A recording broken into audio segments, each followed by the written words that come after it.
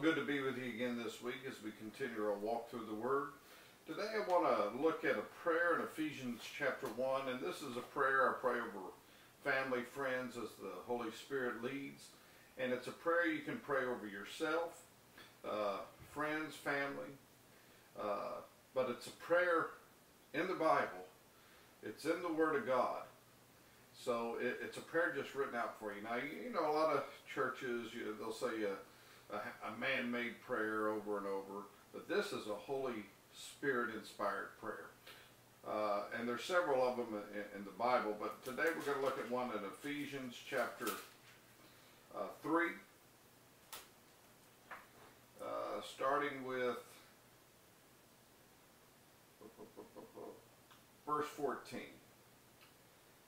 Now you can uh, make this a personal prayer. Well, I'll show you a second. So verse 14. For this cause I bow my knees unto the Father of our Lord Jesus Christ, of whom the whole family in heaven and earth is named, that he would grant you, according to the riches of his glory, to be strengthened with might by his Spirit in the inner man, that Christ may dwell in your heart by faith, that ye, being rooted and grounded in love, may be able to comprehend with all saints what is the breadth and length and depth and height, and to know the love of Christ, which passes knowledge, that you might be filled with all the fullness of God. Now unto him that is able to do exceedingly abundantly above all we ask or think, according to the power that worketh in us, Unto him be glory in the church by Christ Jesus throughout all ages, world without end. Amen. Now, how would you personalize that? If you're praying it over yourself, Lord, I ask that, we, that you would grant me, according to the riches of your glory, to be strengthened with might by your Spirit in the inner man, that Christ may dwell in my heart by faith, that I, being rooted and grounded in love, may be able to comprehend with all saints what is the breadth and length and height and depth and height. To know the love of Christ, which passes knowledge, that I might be filled with all the fullness of God. Now unto you that is able to do exceedingly abundantly above all I ask or think according to the power that works in me. Unto you be glory in the church by Christ Jesus throughout all ages, world without end. Amen. And of course, if you're praying that for a loved one, I ask that you would grant them according to her. Uh, if I was praying for my wife, I ask that you would grant Loopy according to the, and so on and so forth. You get it, right?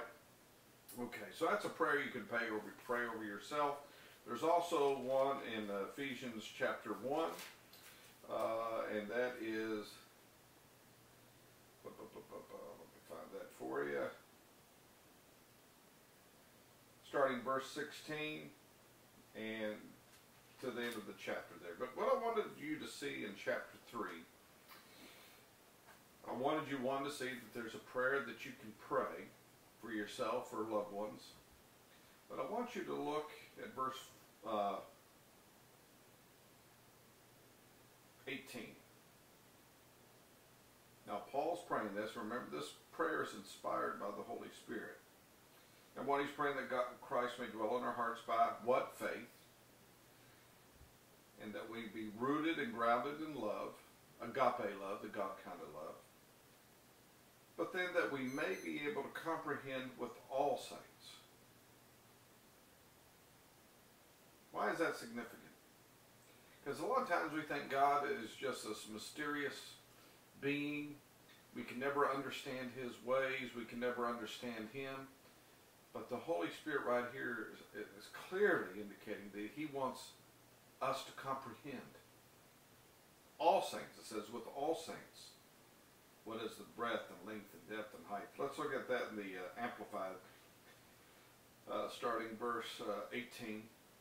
That you may have the power and be strong to apprehend and grasp with all the saints, God's devoted people, the experience of that love, what is the breadth and length and height and depth of it, that you may really come to know practically through experience for yourselves the love of Christ, which far surpasses mere knowledge.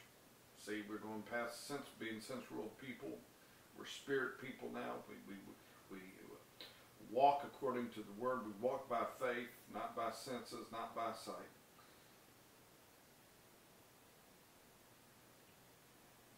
The love of Christ, which far surpasses mere knowledge without experience, that you may be filled through all your being unto all the fullness of God, may have the richest measure of the divine presence and become a body wholly filled and flooded with God Himself. Now, to Him who is, by in consequence of the action of His power that is at work within us, is able to carry out His purpose and do superabundantly, far over and above all we dare ask or think infinitely beyond our highest prayers, desires, thoughts, hopes, dreams. To him be glory in the church and in Christ Jesus throughout all generations, forever and ever. Amen. I want you to catch a few things from this prayer. One, he wants you to comprehend his love. It's not to be a mystery to you. Two, he wants you to be full of God, full of his presence, full of his word full of His Spirit. You need to be baptized in the Holy Spirit. And He wants to do exceedingly abundantly above all you even could dare. Some of you are afraid to ask God for things. You don't dare ask, but He's able to do exceedingly abundantly above anything you could ask or think. I don't know about you, but I can ask for quite a bit. And my mind can think of quite a bit. But He goes way beyond that. I mean, I, we can't comprehend it. That's how awesome God is. So what I want you to get today, God loves you. He wants you to comprehend His love. And also, I want you to notice that last, uh, uh, according, verse 20, Does exceeding abundantly above all we ask or think, according to what the power that worketh in us. You have the power of God working in your life. You may not realize it. You may not have tapped into his potential. But the power of God is in you if you're a believer in Jesus Christ. You have the Holy Spirit if you're born again. And if you're baptized in the Holy Spirit, you have great power. So don't sell yourself short. Because when you sell yourself short, you're selling the power of God short. Because his power is in you. His power strengthens you. His power empowers you to live the God kind of life in this world. Amen. Amen. Well, I love you. God bless you. Go to church this weekend. Read your Bible. Say your prayers. If I don't see you around town, I'll see you in heaven.